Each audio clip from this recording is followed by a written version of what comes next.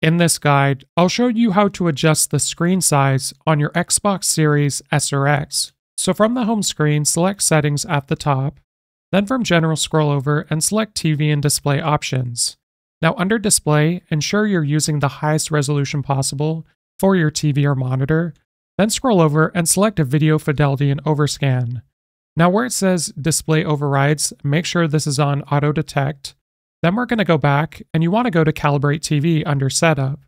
So you can follow through these steps if you'd like. I'm going to skip past these options though until you get to aspect ratio and sharpness. So on your TV or monitor, you want to adjust the picture size and or aspect ratio until the green lines are visible around the edges of your screen.